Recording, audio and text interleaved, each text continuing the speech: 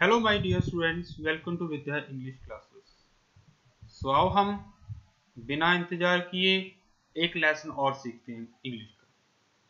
बस आपने क्या करना है? इस वीडियो को अंत तक देखना है एंड तक देखना है, और मैं गारंटी लेता हूँ कि आपको अंग्रेज़ी बोलने से कोई भी नहीं रोक सकेगा। तो आओ हम स्टार्ट करते हैं आज का हमारा next lesson lesson number fifteen हमारा फ़र्स्ट सेंटेंस है, यह तो रोज की बात है।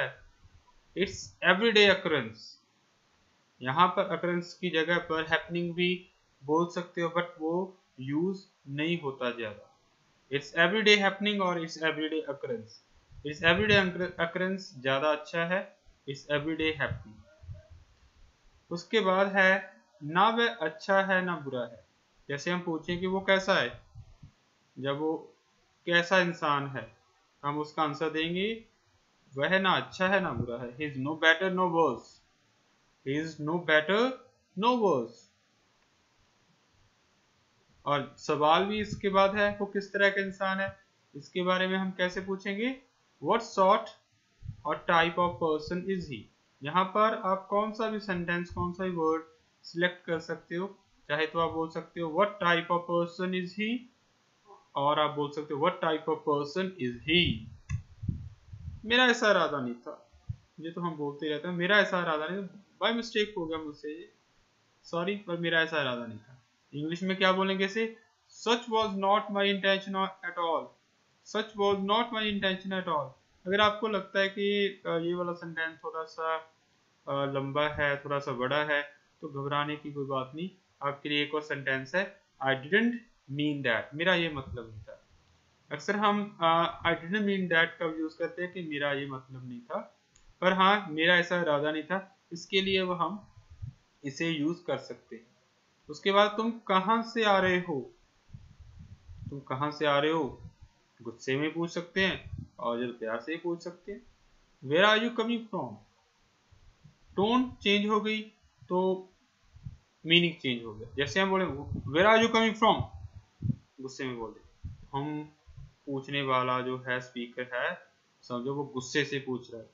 सिंपली पूछेगा where are you coming from वो जस्ट नॉलेज के लिए पूछ रहा है कि तुम कहाँ से आ यह हमारी अंग्रेज़ी की कक्षा है। Is our English class is our English class उसके बाद तुम घर कैसे जाओगी? How will you go home कैसे जाओगी का मतलब यहाँ पर है? कि साइकिल साइकिल पर जाओगे बाइक पर जाओगे ऑटो पर जाओगे, अपनी कार पर जाओगे, या कैसे जाओगे? ठीक है जहाँ पर कैसे जाओ का मतलब ये है। जैसे उसने बोला कि आई will go by bus I will go on train तो इसका आंसर ऐसा हो सकता है। क्या तुम उसे जानते हो? डू यू नो हिम अगर यहाँ पर ये होता कि क्या तुम उसे पहचानते हो, पहचानना तो पहचानने की इंग्लिश होती है recognise R E C O G N I S E recognise so यहाँ पर आप यूज़ करोगे? डू यू रिकग्नाइज हिम क्या तुम उसे पहचानते हो? अगर ये हो क्या तुम उसे पहचानते हो? डू यू रिकग्नाइज हिम और ये है यहाँ पर क्या तुम उसे जानते हो? डू यू नो हिम क्या तुम आ, तुम कहाँ जाना पसंद करोगे? Where would you like to go छुट्टियाँ हैं? अगर आपसे पूछे हाँ कहाँ पर जाना पसंद करोगे? नानी के घर या दादी के घर? बुआ के घर या मामा के घर? ठीक है? सो हम पूछेंगे इंग्लिश में where would you like to go उसके बाद है, मुझे माफ़ करना, मुझे तुम पर ऐसे चिल्लाना नहीं चाहिए। नहीं, गलती रियलाइज़ करनी। मुझे माफ़ करना, मुझे तुम पर ऐसे चिल्लाना नहीं चाहिए था। I am sorry I shouldn't have shouted you I am sorry मुझे माफ़ करना।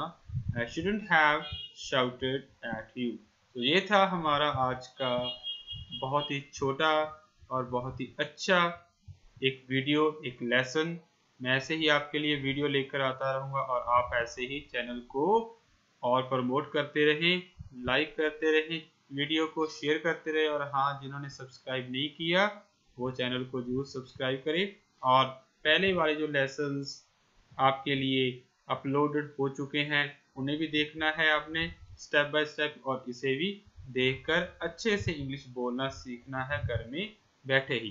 Thank you so much for watching subscribing liking and sharing our channel Vidya English classes